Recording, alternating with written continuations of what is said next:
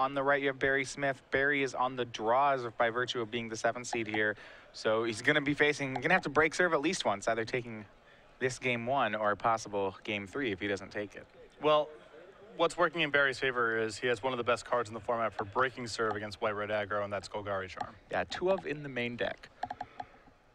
So with that, we are underway. Dustin Grorud is going to go ahead and start out by shocking into a Soldier of the Pantheon, so having one of his best turn one plays. We'll see just how good his start is here. And Barry, this as is a lot of with the Jund decks, uh, you know, turn one Temple really, really their best play. He doesn't even he doesn't have access to Elvish Mystic, so this this is his turn one. Mm -hmm. And this is the risk for Barry here. When he's on the draw, he has nothing to do on turn one and not a lot to do on turn two even if his hand is good after that point, you know, he's got some cards like Courser Kruphix, Chandra Pyromaster that cause some headaches for Dustin, but he might just get too far behind if Dustin's start is really explosive. Yeah, Scry's to the top. When I think about these removal heavy control decks in standard, whether they're, they're not, whether they're pure control or a mid-range deck, um, to me, one of the things is, that seems like a defining thing about them is that there's no one mana removal spell in the format. You know, in past formats, you've had things like Tragic Slip or Lightning Bolt or something like that.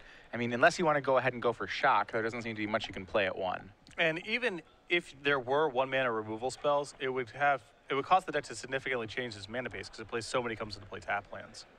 Yeah. I think the, the Jund Walker's deck overall is much happier playing a bunch of Scry lands and starting on turn two, but this is one of the matchups where, yeah, you're paying a cost for building your deck that way. All right, so we see a swing for two from Grorud, another shock, and he's going to go ahead and empty out the hand. We have Dryad Militant and Judge's Familiar joining Soldier of the Pantheon here.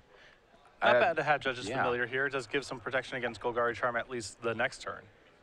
Yeah, looking at Grorud's hand, we'll see whether or not he was able to find a copy of that spell. So he'd have to cast it on three mana, which means he'd actually still be taking quite a few points of damage before he was able to resolve one. But depending on Dustin's leftovers, even a turn three Golgari Charm here may be enough to just win the game. Right. Uh, Dustin's protection spells, as you meant, uh, you know, if you know this deck, are cards like Boros Charm and Brave the Elements, all of which do not protect him from Golgari Charm. Yeah, my experience playing decks like White, White Red Aggro, Golgari Charm is among the worst cards in the format you can play against. Instant speed, two mana, and incredibly powerful at every stage of the game. Well, he's going to get some help here. That's Sylvan Caryatid as his play for the turn. So that will wall up against one of these 2-1 ground pounders, but he's still looking to take three this turn. And something that's working in Dustin's favor for the matchup here, no copies of Polukranos anywhere in Barry's list. That's the uh, the best card that Jund-type strategies have against a deck like a Boros beatdown deck, and Barry's Xenagos much less powerful here. Yeah, Barry actually looking like he's gonna he's tanking on the block here, it seems like he's a little short on mana right now. He's not sure he wants to risk that Caryatid to any sort of trick that Dustin could have. The only trick in the deck here that could potentially ruin Barry with a block here is Boros Charm, giving the creature double strike. And can you really afford to take four, five damage in, against a deck with Boros Charm? The other thing here, as, as Barry identifies, is he can just block the Soldier of the Pantheon because Boros Charm cannot target Soldier of the Pantheon to give a double strike. So that's a safe block. Right, he does take three, and no play from Grorud. So now, now Barry getting to untap with this mana, we'll get to see what kind of removal spell he has, and will it be enough to stabilize him here? He, he didn't take too much damage last turn. No, he's in, he's in good shape here. Now, Dustin's got a couple uh, sources of Closeout, which is Boros Charm and Brave the Elements. He also has two copies of Ajani Steadfast. So even if he's flooding out a little bit, he has a couple cards here to help catch him up. All right, no plays there from Barry either. He makes a Temple of Malady into play. Yeah, we're looking at Grorud's hand. He has at least one more land in Mana Confluence. I believe two more. One of them is a Mutavault, so that's actually not terrible for him. He's going to repeat last turn's attack, see if he can sneak across three more damage, or whether one of them will, will snag a removal spell out of Barry's hand. And I imagine we're going to see at the, the same block as last turn. Sylvan Caryatid on Soldier of the Pantheon is always a safe block. And this is actually before blocks. He's going to go ahead and use that to cast a Golgari Charm, tapping the Caryatid so that he doesn't have to use a Pain Man uh, off Llanowar Wastes there. As you mentioned, this is one of the best cards here. Dustin's going to force him to pay an additional one with Judge's Familiar, but that's about it. It's going to get the entire team. And this is this card, like I said, it's just hard for Dustin to beat. That's that's just all there is to it. Yeah, you see in his hand there was a Brave the Elements sneaking in there. Um, normally his anti-sweeper insurance policy, but something that doesn't really work here. And the thing is, most of the time when you're playing against the card Golgari Charm, it's at least not game one. It's pretty rare for your opponent to have in the, in the first game. Right, and Barry has multiple Golgari charms in his main deck. Yeah.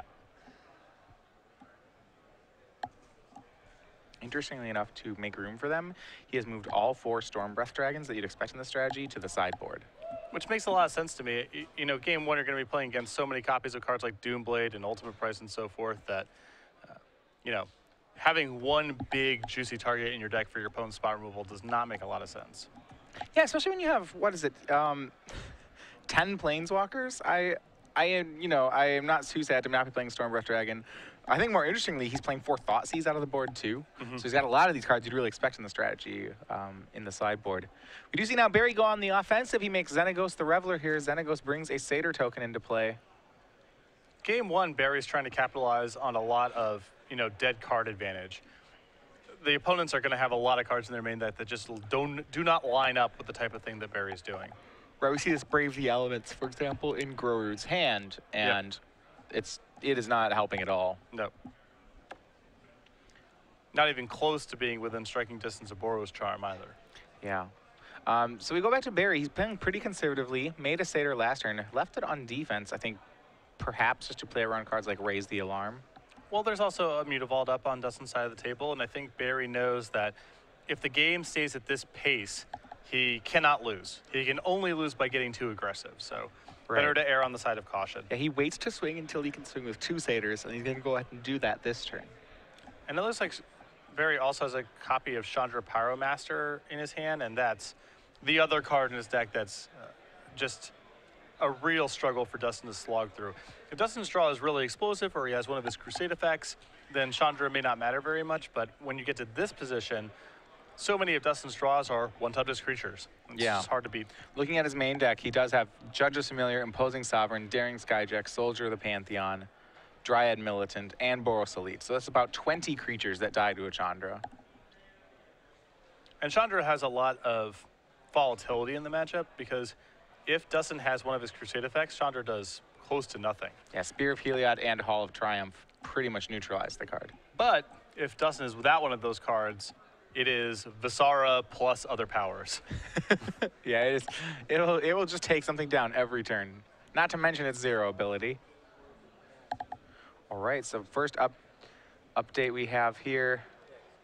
Um, in a one versus eight matchup, Sean Wyhe uh, looking to possibly get his second open with Mono Black. He actually takes game one off our one seed on off a black white mid range player. Pretty surprising. But Knowing your deck can never be underrated, I would say. when you have four pack rats, a lot of times the other 56 cards don't matter in Yeah. a given game. I was talking to him about the matchup. You know, he said, "Oh no, it's not good." But you know, so he said, "Well, I can still just mono black him." You know, he's just playing mono black.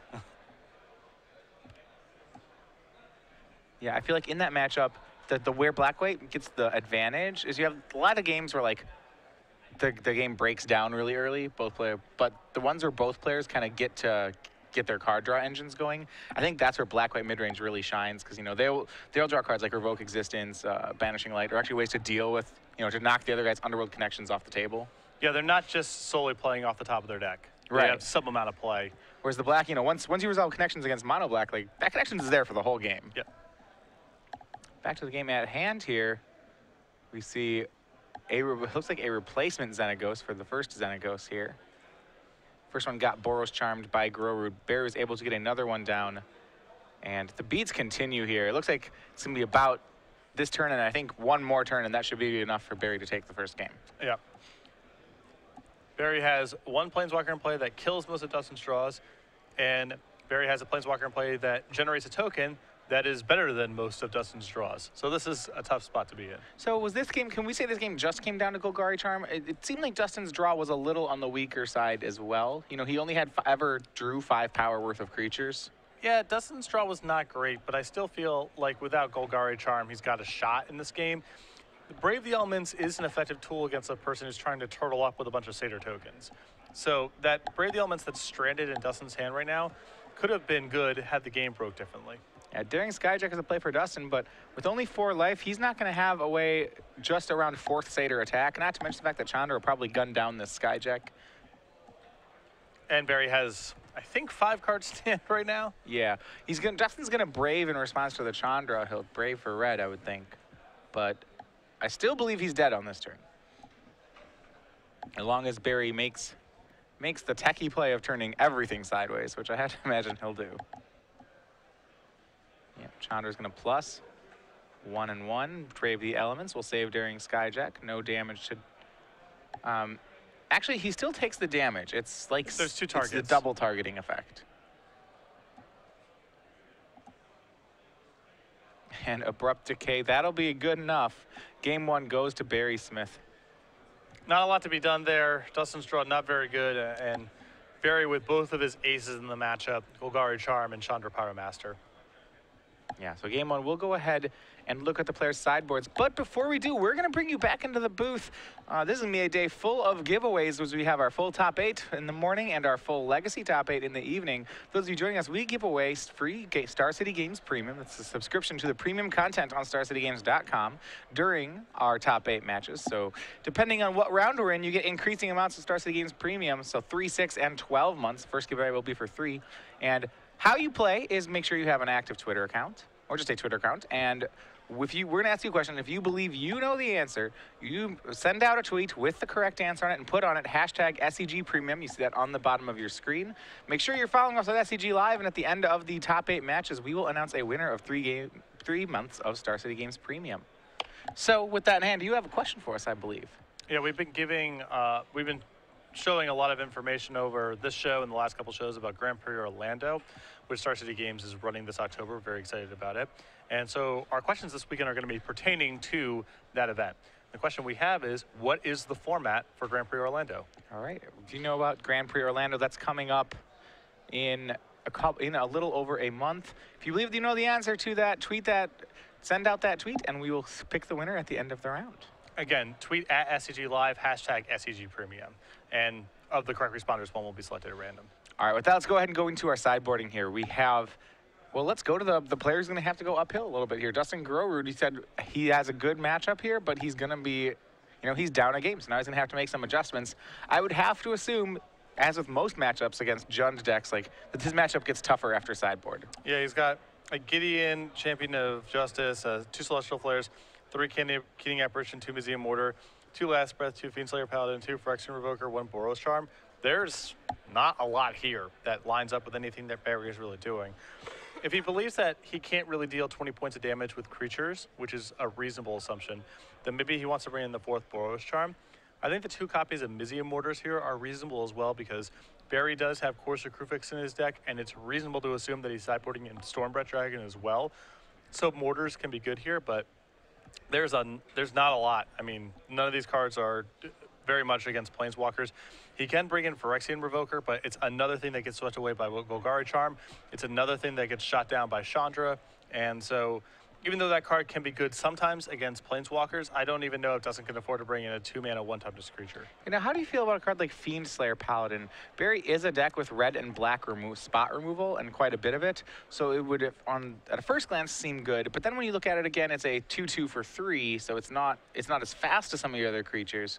You know, like, do you want to sacrifice speed for resiliency here? No chance. I think his own, eh, he can't beat Barry going long, and Barry's got a bunch of good blockers for Fiendslayer Paladin. He has Courser Kruphix and Sylvan Caryatid as well. So uh, even if he's able to, you know, jam Barry's removal up a little bit, he's not going to be able to stop him from blocking. So I think your best bet is just to be as streamlined and aggressive as possible and hope that Barry doesn't have Golgari Charm or some other sweeper, uh, because I don't think you can you can beat him card for card. All right, over on Barry's side, it's a little different than you'd expect out of a Jund mid-range sideboard. Normally, those have lots of ones and twos to kind of side out the bad cards, side in the good cards for every matchup. Barry's done something interesting, which I kind of alluded to earlier, where he has full playsets of Stormbreath Dragon and Thoughtseize in his sideboard, cards that are typically main decked in this kind of strategy, so he can do large shifts to it, to his deck if he needs to. Um, I would have to think in this matchup that, you know, that it's just kill things, kill things, kill things. He's going to board in two more Devour Fleshes, board in a Golgari Charm. Putrefy even seems fine. Um, so at least I think that those four would come in. On top of that, rather than finishing the game with a Planeswalker, I'm wondering whether he'd prefer to finish a game with a Stormbreath Dragon, as it is pro white against a pretty much white deck. I think Stormbreath Dragon is a good route for Barry to go to here because he has a lot of Planeswalkers who are just not that efficient. Cards like Garruk and Vraska, Liliana, I think he's going to want to get away from those kind of cards. They're slow, they're cumbersome, they don't have a huge impact on the board the turn they play them, except for Garruk, which is a lot of mana. I think with Stormbreath Dragon, uh, he's much better served just trying to win the game that way. It's a much more effective blocker. So, yeah, there's a fair amount of dead weight in his main deck in this matchup. Seeing cards like uh, three Read the Bones, two Rakdos's Return. Like, does he? I don't feel like he has time to do any of these things. Well, I don't mind Read the Bones here as long as he has a lot of cheap removal because you know he can stabilize the board and then Read the Bones is fine there. I think Rakdos returns and the more expensive planeswalkers are really easy cuts. Yeah. So he actually is going to become a pretty much you know, post board he could have, if, if you want to look at spot removal, um, three Mizzium Mortars, three Golgari Charms, three Abrupt Decays, um, a Dreadbore, two Putrefies, on top of two Devour Flesh. That's 14 pinpoint kill spells. That seems like qu it's quite a lot. Yep. I have to imagine it's going to be pretty effective. I don't know if Barry is going to want Devour Flesh on the draw. I think on the play, it's totally reasonable. Uh, and it still might be better than some of his more cumbersome cards uh, whether he's on the play or the draw. But it's not the most efficient answer against a deck that has so many cheap, you know, can flood the board with so many one mana permanents. Yeah, Devour Flesh against a deck that's playing Raise the Alarm is, can't, you know, has the potential to be a pretty weak card. And Precinct Captain as well. There's a couple ways for Devour Flesh to go wrong. All right, well, game two underway. Dustin is going to be on the play for a second time. And we will see if he can dodge Golgari Charm at the very least. All right, so the winner of this match is what we kind of deemed as the quintessential match of Standard in Will Urker versus Feline Longmore. Feline nabs her first top eight ever in Standard, but her trip ends there as Will takes the match two games to zero. So the winner of this will be facing against Mono Blue Devotion, which I'd have to think if I'm Will Urker, I'm pretty excited to see a Jund Walker's player up already here. Yeah, that matchup's got to be good for Mono Blue. Pretty surprising result there in our 3-6 match for that to be over, not only for uh, Feline to lose, but to lose that quickly. Yeah, we did get a chance to see Will Urker. Remember, he went 8-0 with the deck yesterday. He is quite the pilot of the deck. He definitely showed he showed some expertise while playing it in the round. I wouldn't be surprised if he just knows his deck well enough. But uh, back to our side, Justin has a, you know, this reminds me of back in the, back old White Weenie where it's Savannah Lions into two more Savannah Lions. Granted, these Savannah Lions are a lot better than Savannah Lions have been in the past. He has two Soldiers of the Pantheons and a Dryad Militant, so they all get abilities this time. Um, but this is a draw that has foiled many a player over the years. Now, this is a very a draw that's very soft to Golgari Charm. Right, I was gonna say, if there's a Golgari Charm, however. Right. And this is the way that Dennis Dustin, I believe, has to play the matchup here. He, you know, yeah. he can't slow roll his threats because Barry has so many pinpoint removal spells. If he tries to pace the game slowly, Barry can just pick him apart piece by piece. So he's got to play like this and just hope for the best. I mean, you always played your three Savannah Lions into Pyroclasm, right? You just don't. I mean, it depends. You can't well, play around it. Certainly against a deck that has 20 Pyroclasms, you kind of don't have a choice but to hope for the best here. Yeah, and if you're Dustin, he's got to be really thrilled here that Barry's turn two play was Mortars a Soldier go. Yeah, means Dustin's still got a good shot. And more importantly, means Barry doesn't have a Golgari charm or something like that.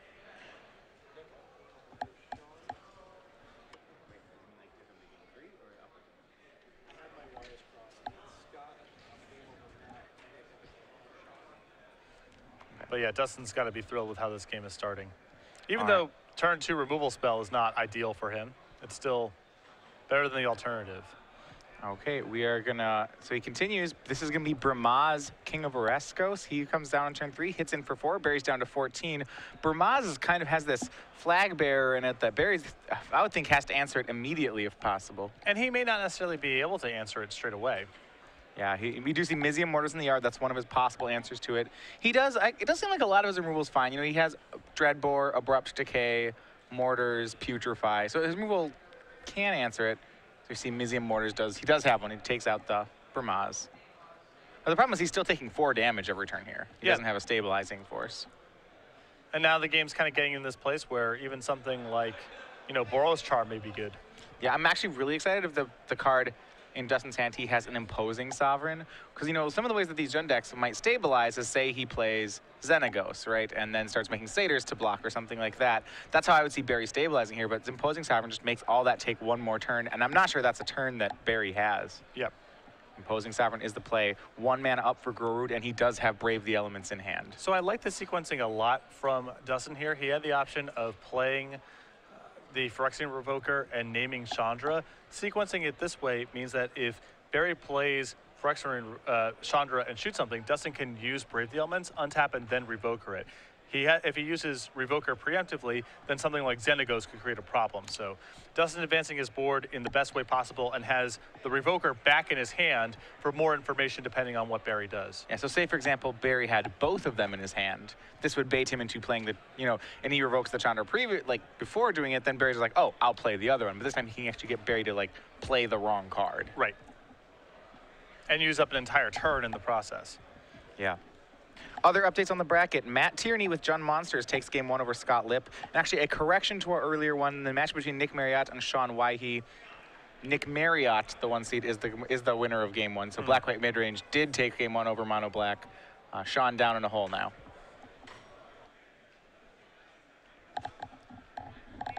And you can see kind of why I like the matchup in the abstract for Dustin, setting aside the pinging effects. There's been nothing wrong with Barry's draw so far. And you feel like Dustin's got a really good shot at winning this Yeah, game. Yeah, turn two kill spell, turn three kill spell. That's that's pretty good for Yeah. Barry. It, it does. fe- It did feel like this game that the whole time you're thinking, man, Barry, Barry's kind of on Golgari Charm or bust. I have, you know, has I have felt that way. Courser of Kruphix is Barry's play. It's gonna come into play tap from Imposing Sovereign. He gets to play land, taking himself up to 10. Top card of deck revealed. And if right now, Grorud is gonna be able to put him down to four. If he can draw a Boros Charm, he can actually just get the game this turn. And we may see a preemptive revoker now because Dustin has close to lethal in play. Yeah, we see raise the alarm was the draw for a turn, which actually when you get your opponent down to four, having an instant speed to anything is pretty powerful. I think with raise the alarm in hand, now Dustin is simply going to pass the turn because he beats, you know, something like Chandra or another, you know, the imposing Yeah. sovereign has a blocker beat, the brave the elements beats a removal spell, so on and so forth. Knocks Barry down to four, and you're right. It it seems like it's going to be difficult for Barry not to be dead on the next turn. You see actually cards in his hand like Liliana Vess is actually hanging out there for game two. And I I think it's one of the things you alluded to. when You said there sure is, are a lot of cuttable things. You know, Vraska and Liliana both in his hand. I don't. These guys seem like they are never going to matter in this matchup. Barry, you know, maybe he'll play differently because he doesn't know Dustin's hand, but based on the hand, I think the play he actually needs to do is read the bones, hoping to find land Golgari Charm. I do not think he has a way to win the game besides that. Yeah, and actually, because of raise the alarm, I don't know. Okay, no, he still has a shot. All right, read the. He's going to make the play. All right, he's he's on it, I think. Yep, Hero's Downfall, and Sylvan Caryatid. He's gonna. I mean, if you're if you're right, he's gonna have to bottom both of these cards. Yeah, those those provide no help. All right, we'll see. Does he get the draw? First draw is land. All right, can he do it? And land. And another read the bones on top. Well, that one's certainly not castable. Barry drops to two off the read the bones. And I don't believe he has. Yeah, without a Golgari Charm, we're gonna be on to game three here.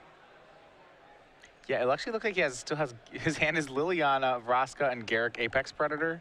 So he has left in the entire Planeswalker package. Yeah, and I I would have gotten away from these cards in a major way if I was Barry. Well, I don't know if you can really play a seven mana Planeswalker against White Weenie. I don't. That's that's just I mean, way too much mana. maybe Vraska is tolerable because it's still a removal spell at the end right. of the day. actually, I like. I agree. I, I'm not. I'm not saying you have to board them all. Vraska, you But- can you can make a case for. I think Liliana is not a card you get. You know, it's a lot of these cards. You know, Garruk and Liliana will be fine in games where you're already a favorite to win the game. You know, if you can afford to take a turn off to, you know, uh, tutor for a Golgari Charm or some other sweeper like Mizzium Mortars, that's one thing. But that's only likely to happen in games where Barry is already in front. So I'm curious how he made room for things. Unless he just didn't bring in the Stormbreath Dragons, which I guess is possible. But Stormbreath just strikes me as a much better tool in the matchup than some of these more cumbersome Planeswalkers. It does look like Barry's going back to the sideboard here, so we will see. I mean, if he was on the fence about some of these cards staying in, what his hand looked like at the end of that game, I'm sure, is an incentive for him to switch things up a bit. Yeah, and it looks like he is, if you look at it, he's definitely going back to the sideboard right now. So updates from across the bracket, we have a bunch of quick finishes in our top eight. Nick Marriott, the one seed, defeats Sean Waihe two games to zero, so he's moving to the top four with his black-white mid-range deck. He will be facing Matt Tierney, who's playing Jund Monsters. So in what you deemed is a little bit of an upset, the uh, Jund, Matt Tierney was able to defeat Scott Lips green-white aggro two games to zero. So we have Jund, black-white, and mono-blue all in the top four right now. Kind of a, a combination of some of the usual suspects, I would say. Yeah. As, as usual, you know, the joy slowly sucked out as the established best decks stomp on the people trying to do something different. Hell. But we still have these two competitors, both of whom are kind of doing their own thing. I mean, we've seen variations of these strategies over the last couple of months, but they are definitely not one of the five most popular decks in the room.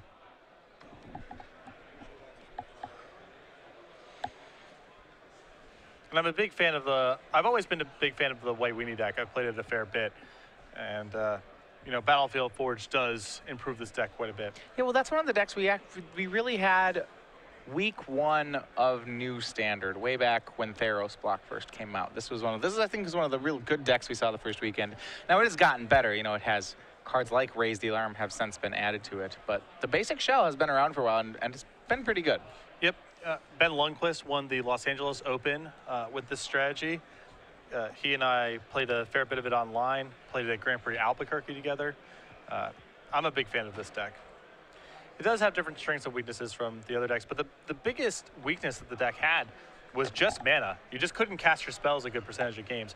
Or you had these Temple Triumphs and your draws were not smooth, and that's all been corrected now. You can play Sacred Foundry, you can play Battlefield Forge, you know, Dustin's mana base, for example, he's got one temple and a mana confluence that, you know, 10 red sources, pretty reliable. He's not paying a huge cost here to get that into his deck, and it makes Boros Charm and other sideboard cards much more reliable. Two Yeah. Mizzium Mortars, which I like a lot, th- that I think is mm-hmm. the right number of that that you want to have. I would like to have a Burning Earth in the sideboard. That's a huge trump. Yeah, and I think some players have gotten away from that as a lot of the control decks, like blue white, has gone to have gone to playing a lot of basics. Um, so that's been a, you know a deck you wouldn't want it as much against. But you know, uh, yeah, against a deck like Jund Walker's Burning Earth would be a, this would be a great card in the matchup. Any any tournament where I know Jeff Hoogland's showing up, I'm bringing at least one Burning Earth in my sideboard. Because I know that's a that's a free win if ever shows up against Jeff. All right, so seven cards. We are about to be underway here. Barry's going to be on the play. He took game one, lost game two. And I still, having watched these games, just it feels like the, the quite just the does he have a Golgari charm game when I'm watching them. Well, on the play, it's different. I think Barry can win what I would call an honest game on the play. Just removal spell, removal spell, and get value with planeswalkers. On the draw, you know, those aren't going to be Dustin's good hands. But Golgari Charm is always the the trump, almost no matter what. And it is a three of in Barry's deck, so especially after board. So after board, it's not unreasonable to think he would draw one. No, he's got he's got a, quite a few copies, and Chandra is not a bad backup to that. The problem with Chandra is if Dustin gets Spear of Heliod or Hall Triumph into play, Chandra does nothing. That, Right. That's the problem with that card, but it does play a similar role to Golgari Charm. All right, we are underway in game three here. This is our last quarterfinal match. It's between Justin Grorud and Barry Smith, starting with Temple of Abandon for Barry. And we'll see what kind of start Dustin has here. He does have an Anthem effect. He has a Spear of Heliod in his hand. This is the first game he's had one of those, so he does have a little bit of an insurance policy against cards like, like Chandra, as you mentioned, and even Golgari Charm, as long as Barry doesn't have it too soon. Yep. The the issue is Golgari Charm still kills the spear, so it's not a total trump, but it's Right. better than his whole board getting swept away. Yeah, He's going to start out on Judge's Familiar. Had the option between Judge's Familiar and Boros Elite. Looking at his compilation of creatures here, he looks like he does have Daring Skyjack and Boros Elite, among others, in his hand. This is a game that's setting up pretty well for Spear of Heliod to be a big influence. Yeah. And Barry, no, no turn two to just immediately kill that Judge's Familiar. He's going to go with another Temple of Abandon. You've seen his hand, he has Xenagos the Reveler, so he has something to build up toward. And it looks like he has a Stomping Ground as well, so he is set on lands to make it up to that point. Looks like Dustin has brought in Keening Apparition, which I think is fine. It's something that doesn't get killed by a sweeper, and it does kill Courser Kruphix. So Yeah. I think that Dustin probably sideboarded in such a way to get as many of his low-value one toughness creatures out of the deck, knowing how many sweepers he's playing against. Yeah, Judge's Familiar gets first damage in on Barry. He's down to 19. Dustin played a Scryland, and then we'll have Boros Elite join. And I like this because if he's getting Golgari Charmed right now, he's not losing his highest value creatures. Yeah, of, of course he doesn't want to play against Golgari Charm here, but it's not the end of the world. Life will go on for Dustin if, if that card shows up here. Yeah, as long as he's aware, you know, he, he has to make him play a little bit differently, but as long as he's aware of it, he should be okay. Yeah. Turn three here, Llanowar Wastes for Barry Smith. Looks like it's going to be a Courser of Kruphix. Now this is this is pretty solid here for Dustin. I mean, he has the Keening Apparition in hand. Yeah, Chandra, the top card here. Because of that Chandra on top, Justin may have to just play, if he can, just drop a Spear of Heliod. But I'm not convinced he has a third land. Well, I think that he, he can't allow the Courser to stay in play. I think he's just got to uh, suck up that this is not going to be good for him. He has a Revoker in hand, so he can lose a creature and then Revoker the Chandra and hope for the best. Or if he draws Spear, then he's uh, a land for Spear, then he's totally in the clear. But I don't think he can allow this Courser Kruphix to stay in play. This doesn't look pretty, but I think this is Dustin's best line. And he agrees Keening Apparition will take out Courser of Kruphix and in come the troops. But right now they're just a pair of one ones. Barry takes two. He's at, but he's still at a very healthy 17 as he draws Chandra Pyromaster for the turn. No third land from Grorud, and Barry's going to be able to get Dustin down to just a single 1-1. And then the question will be, once Chandra's down and revoked, will Dustin be able to power through the Xenagos that will almost certainly follow? It's a lot of problems, you know. It's, it, you know, these kind of games, there's a lot to slog through on Barry's side. Barry helps the cause. He's going to shock himself down to 15 as he has to for this Chandra. But he's going to get some pretty strong value out of it. And there we have it. Chandra comes down, pluses up to five. And which creature will he go for? I would guess, and yeah, it's Judge's Familiar. Dustin's down to 17. And the other issue with Chandra in this matchup is you're not killing five loyalty. That's that's too much. Yeah, you, you can't take the time to, to, to kill her, I wouldn't think. So he's just going to have to revoke it and hope that there's no kill spell. By making that play of Revoker on Chandra, you're really softening yourself up to any removal. I think his other line here is just cast Spear of Heliod. That may be, that just may be better. I think that's the better play here. Now, yes, it's bad if he has Golgari Charm or Abrupt Decay, but your Phyrexian Revoker wasn't beating those cards anyway. So this has kind of the highest upside, I think. He's going to go ahead and revoke the Chandra here. And then swing for one. Barry's down to 14. And the third land isn't play for Dustin. He does plays a Sacred Foundry tapped. So now we'll see. We know Xenagos, said before his hang, is in Barry's hand to start making blockers.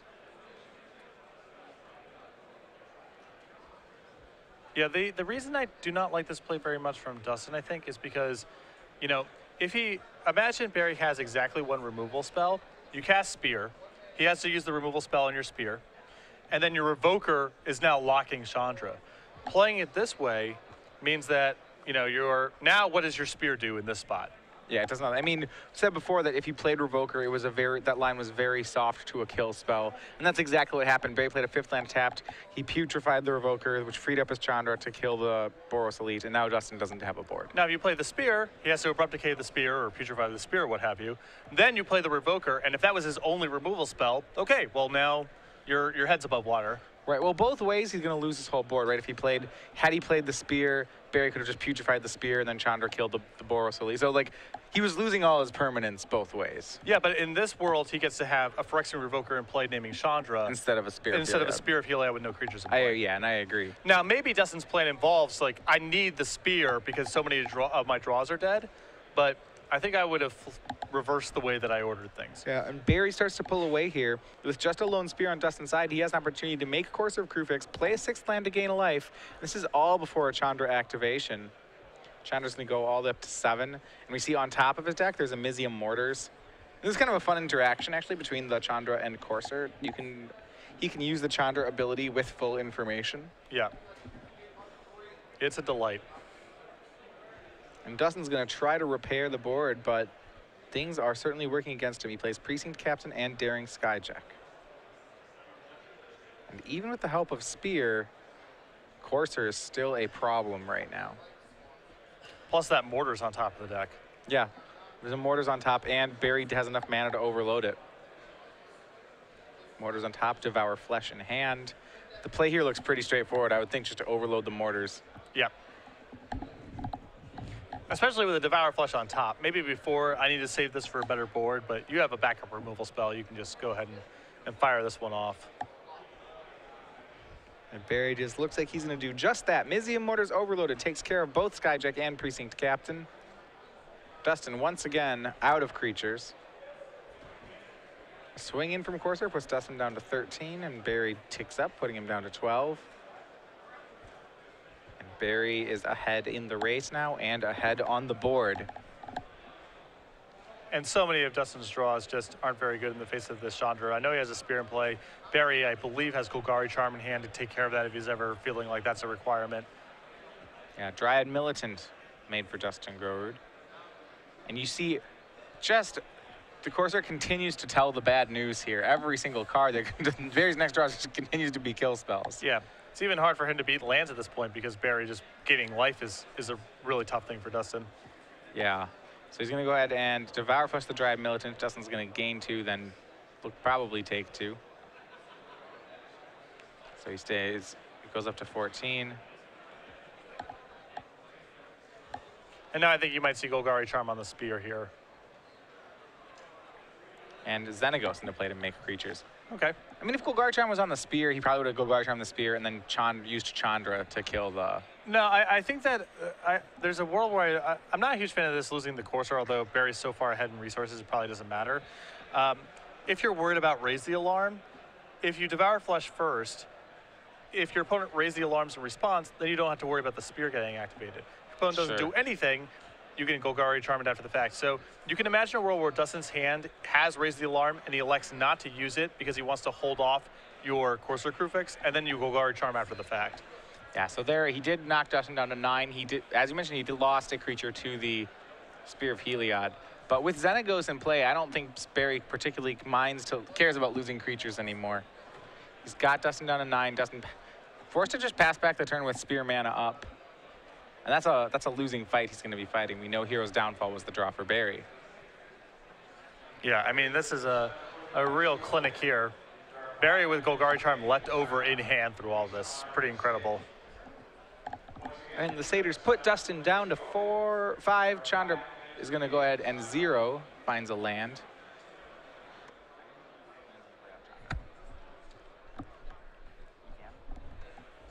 All right. And goes and zeros, gets a Temple of Malice.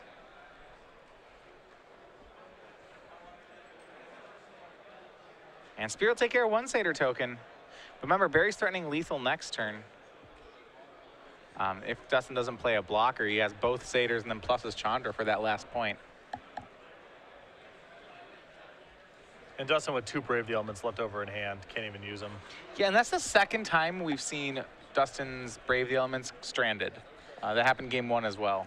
Well, Brave the Elements, you know, there there are a couple cards in Barry's deck that Brave the Elements is good against. Busy and Borders, Heroes Downfall, that kind of stuff. But Barry just had enough ways to blunt the early pressure from Dustin, and then those Brave the Elements just don't do anything. Yeah, I'd never seemed like Dustin had an extra mana to be casting Brave. And that will do it. Barry Smith in three games takes Dustin Grorud, so he'll be on to the semifinals. And that is our that is a quick 40 minutes for our quarterfinal matches. Yeah, uh, you know, it, it, it, there's no revelation decks in the elimination round, so